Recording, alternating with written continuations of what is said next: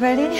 I am making my record because I was 15 minutes late by bus and I still made it on time for my class.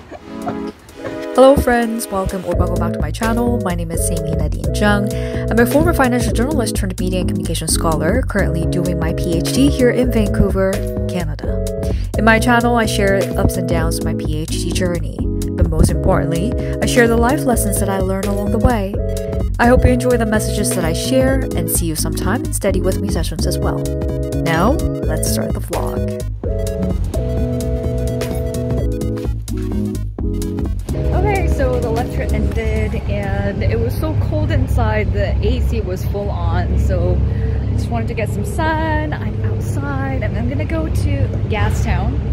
Um, I packed my lunch, so I'm gonna have my lunch outside somewhere and then at 1 p.m. I have an interview to do so um, yeah this time I'm being interviewed by uh, a couple of um, students undergrad students and they got in touch with me all the way from Georgia in the US um, yeah so they're doing this capstone project where they're trying to develop you know a system or, or um, they want to help out um, folks who are digital nomads so yeah, it will be interesting because she got in contact with me through watching my YouTube uh, videos.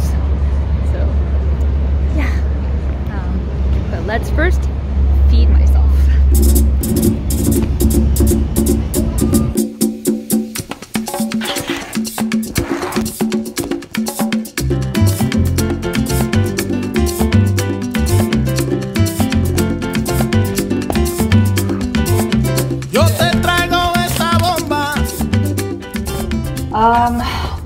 So like where are you're from question is always very tricky because I don't, it, my life has been so dispersed all geographically.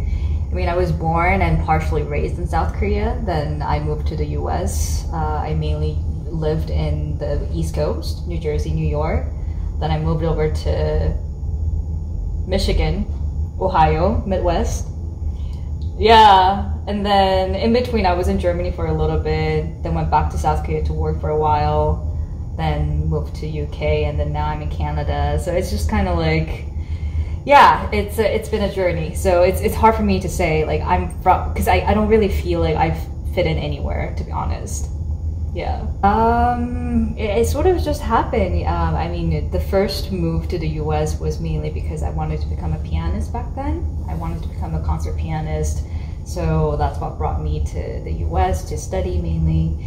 Um, then Germany, actually, too. Um, I wanted to learn how the East and the West Germany reunited.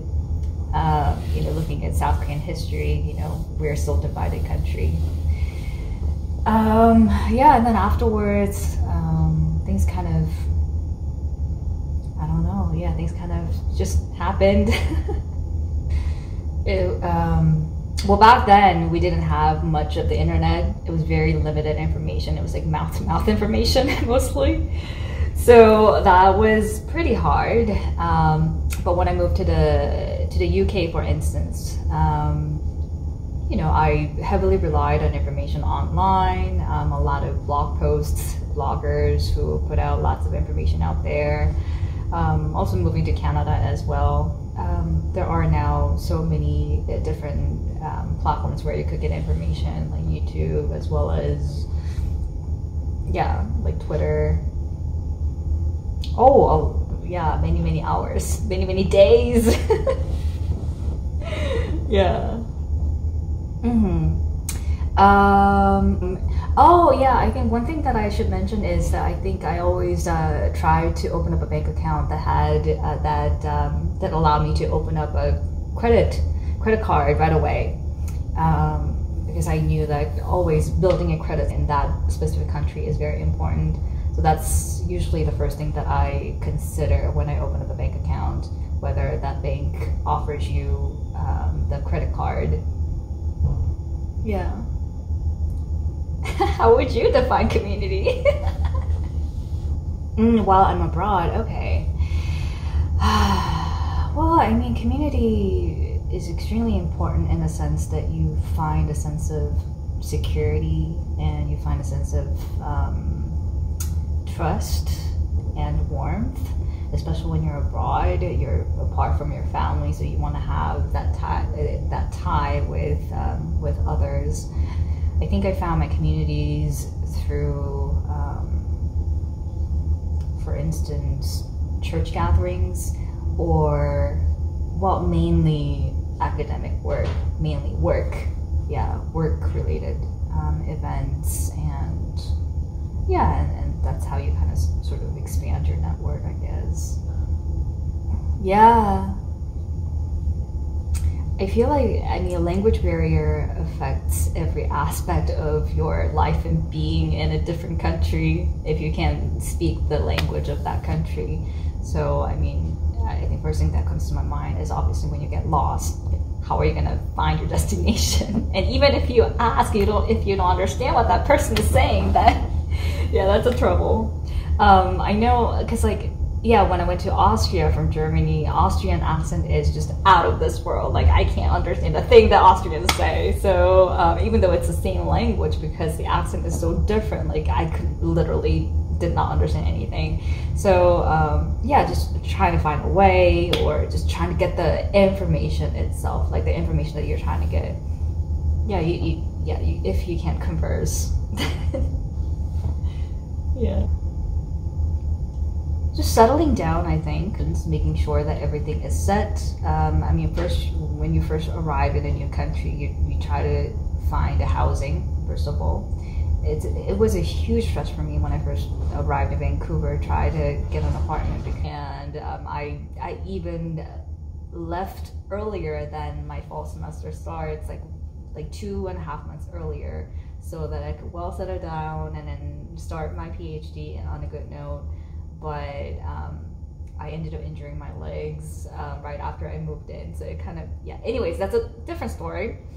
But yeah, just trying to get the housing settled out and yeah, I, I guess um, what you mentioned about community is, I think it's important. Yeah, when you first arrive somewhere and you don't know anybody, then it can get kind of hard cultural clash. Um, you know, uh, I don't want to go too dark, but there are definitely elements of racism that you you experience one way or the other wherever you go, and uh, people's um, biases, assumptions. Um, I mean, it's 2023, and I can't believe that people. Anyways, we don't have to go there. Um, but yeah, um, so I think folks who who especially to the US if one only had like an American dream like you know all rosy and, and first arrived there and the kinds of sentiment and the kind of relationships that you start having with people may not always be that rosy it can be very, very, very, very difficult and it can kind of hurt you too. So, um, yeah, I think in the beginning you just have to learn how to be um, rough, and not rough, I think tough, um, knowing that things can happen. Yeah that's a that's a difficult question because I think living abroad itself already is a huge challenge and it can't be it can't be something that is easy. If it's easy, then it won't be living abroad. Just living, staying home, staying in your comfort zone. Um, but uh, I mean, that magic wand would make me be completely. Um,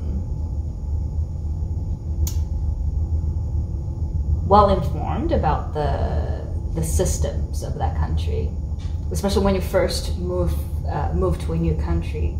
Um, I mean, for instance, like Germany, there is so much bureaucracy that you have to go through, all so many documents, and they take weeks to get get things done. And even just try to get a landline in your in your apartment, um, it, it, takes a month. So um, just trying to settle in, I think the first few months are always the hardest. So I think if if you guys can develop something that that would make those first few months of those um, digital nomads or, or people who are traveling or trying to settle down in a new country that would be that would be something that can be uh, can be good can i ask you a quick question so what what you, what's what's your end goal like what what are your what is what is this project about like trying to build something or mm-hmm Okay, yeah, that's what I was thinking. Probably a platform. okay. Cool. Well, I, I mean, best of luck. And yeah, thanks so much for um, uh, communicating with someone who is like all the way over in the West Coast. I'm sure the weather is getting hot over there. Yeah, nice meeting you too. Best of luck. Thank you, I need that. Bye. Oh my gosh, I'm so um I don't know how I feel right now. It is um 2:23 a.m. and I this that was the longest um record of study with me session. We did about 6 hours and 55 minutes, 7 hours. Um, but see, so I've already have a draft, which is amazing. It's a 30 page report. Will be released um, by the by the organization that I work with, and it is to really help um, better the working conditions of a lot of the ride hail and um, food delivery workers. And I've been really emotionally involved while I was working on this project, but four months. Um, we started in April, and you guys saw like the interview and you know when I started off the project, meeting everybody and introducing myself, and yeah, four months went by like that, and you know today is August fifth, um, it's 2.24 a.m. Completely pitch dark outside. Um, yeah, it has come to an end. So on Sunday, um, today's, yeah, so we're moving towards Saturday. So on Sunday after church, I'm probably gonna go through just one more final proofread and send this off to my manager and then I'm done. And I've got tons of work to do for my fellowship application, which um, I really got to get to after after I get this done. So, uh, yeah, I'm just yeah. I really hope that my work is going to bring some meaningful meaningful contributions. Make meaningful contributions. Okay, I think I really gotta hit the sack now. Good night.